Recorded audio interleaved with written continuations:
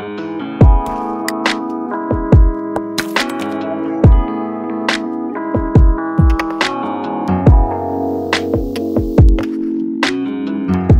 guys, my name is Catrina and I am a first year pre-biomedical engineering student here at UBC.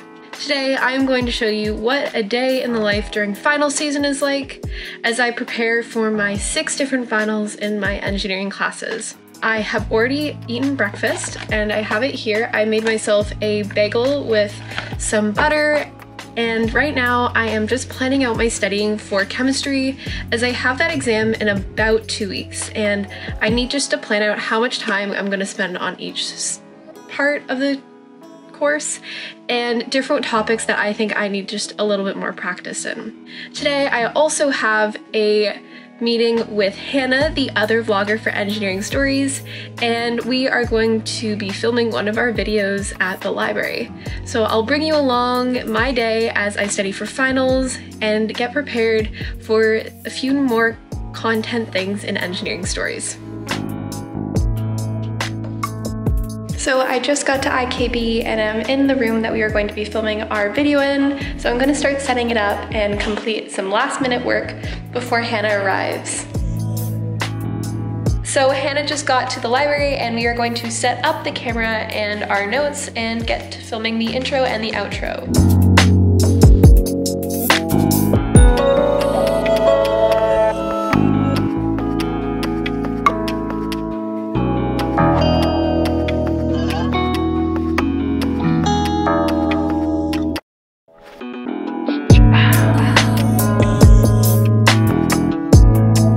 I just got back to my room from dinner.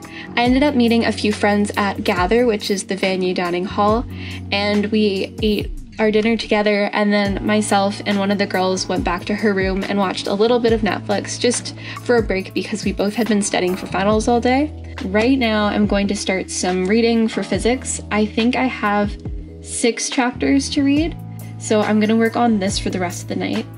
But before I started on this, I wanted to talk to you guys a little bit about studying for finals and stuff, just because a lot of you guys might be doing semesters this year, or even in the spring when you guys do finals if you're doing a term system. Um, I just want to remind you guys that it is perfectly okay to take breaks, and I highly suggest taking them when you need them.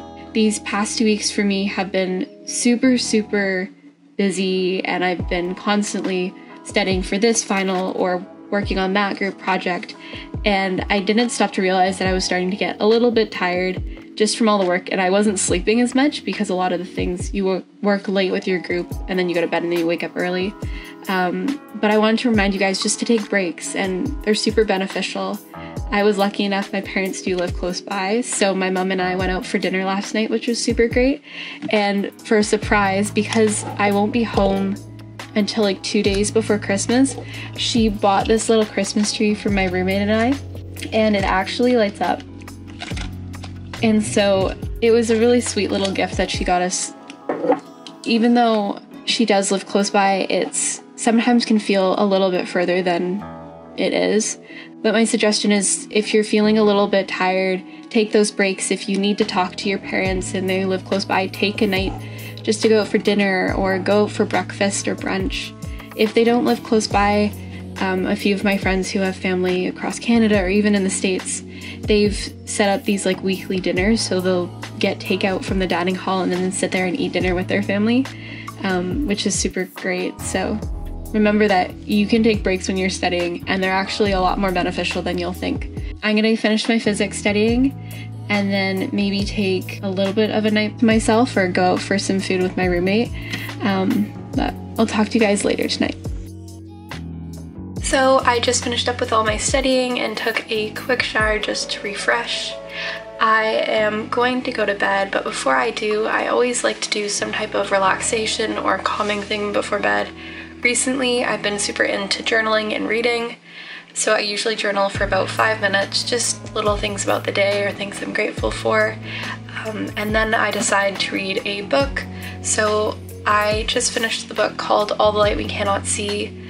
And I've got to say that book was so amazing. But the new book I started just yesterday, it's called The Nightingale by Hannah Kirsten, Kristin Hannah.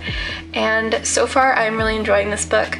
I was suggested this book by one of my friends who also really liked All the Light We Cannot See, so I'm excited to see how this is. So far, I really, really like it. Yeah, I'm gonna spend some time reading this, but that is all for today. If you guys have any questions, comments, or any suggestions for any videos, let us know in the comment section below. Be sure to like and subscribe so you can get notified anytime myself or Hannah posts a new video on our channel. And it is so great to talk to you guys in the comments or even on Instagram through DMs. Let us know if you want to hear anything else from us.